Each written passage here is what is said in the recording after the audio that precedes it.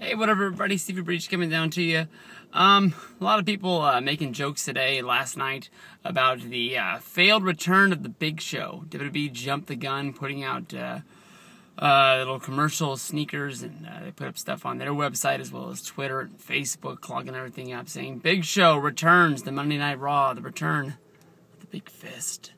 Um, I don't know. Honestly, I- I'm honestly sort of glad the Big Show didn't show up. Uh, just I, I've seen enough of the guy. I just, you know, I can't really like pour, you know, bad wishings on the guy. But it's just that, you know, when you think over Big Show's career, he's done just about everything that he can do. And um, I, I don't think there's anything out there that's really going to put anybody into shock and awe.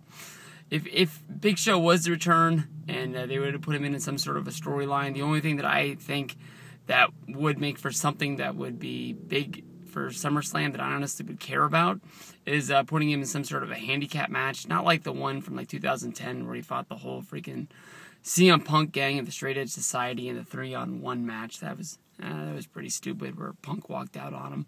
They got three guys out there they should be able to beat down on Big Show. I know that he's the huge, you know, specimen you know, former WWE champion, you know, many times over, and this, that, and the other. But uh, you send three guys out there, three guys on the WWE roster should be able to beat down one big giant. That's just uh, the way it is, especially with one of them being CM Punk, even though CM Punk of 2010 wasn't the CM Punk of 2011 or, or, you know after that you know he became a bigger star and climbed up the uh, the roster up a little bit more up the totem pole but uh, I, I would like to see him and uh, Mark Henry team up and take on the Shield honestly think that as a three on two match sort of would be really entertaining.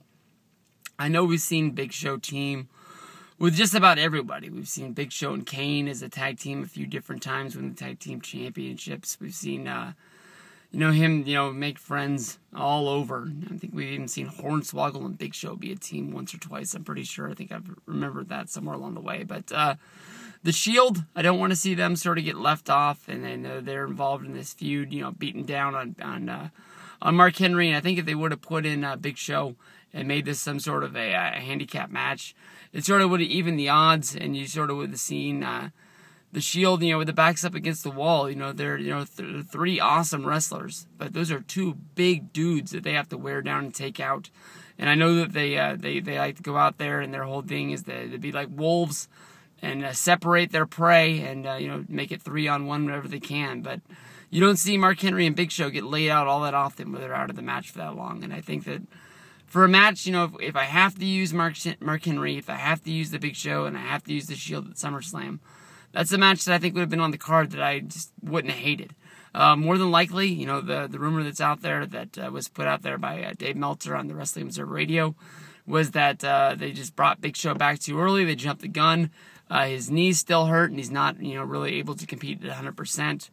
Uh, honestly, I think that they've got, you know, four big tapings. They, they did Raw live last night. They're doing Raw taped tonight. They're doing SmackDown for Friday on Wednesday, and then Thursday they do SmackDown for the following week uh, when they go on their big tour.